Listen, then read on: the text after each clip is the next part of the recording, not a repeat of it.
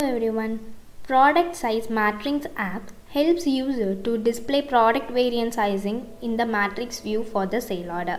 Once the module is installed, product variants and attributes would be created for textile sizing or a footwear sizing and applied this particular sizing into the product as well.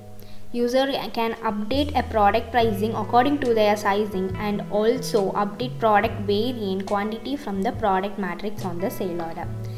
So at first let's complete an user configuration. So for setting up the user configurations we need to get into a settings. Under user and companies let's get into user and open the Mitchell admin right away here. So from here we need to tick on the access size matrix on the product checkbox to enable this option.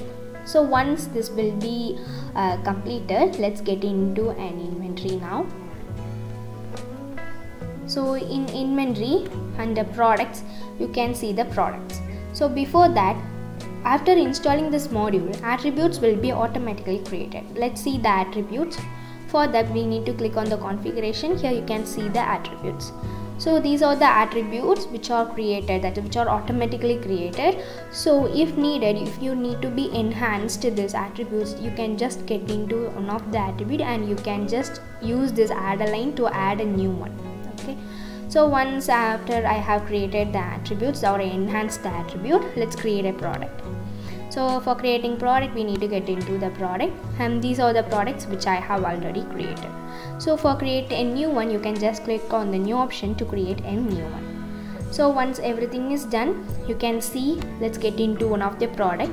And from here the thing is we need to create a product and we need to just click on that uh, type whether it is a textile sizing or a footwear sizing.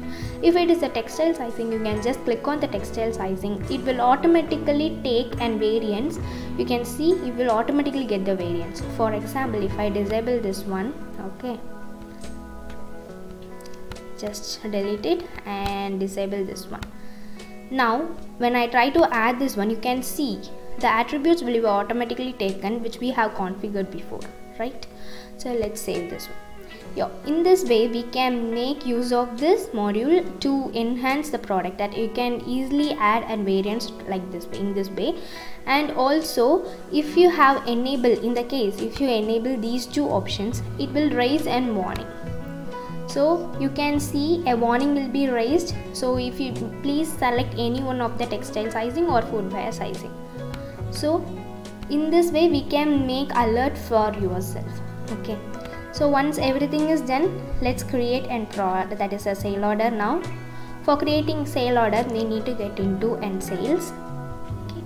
Let's create a new sales first we need to select end customer. Under that you can see a product matrix. So user can create a sale order with the product matrix. For that click on the add product matrix button. So from here the user need to select an uh, product. So from here i'm going to select a sandals so from here we need to select. Using the select option we can select what else we need what uh, what variants we need. And we need to add this variants so once everything is done user can see added product matrix or a variance on the sale order. So this is how we can easily using this module we can easily display the product variant sizing in the matrix. And also we will update a product variant price and we will get a warning why uh, tick twice uh, sizing will be enabled in the product. Thank you for watching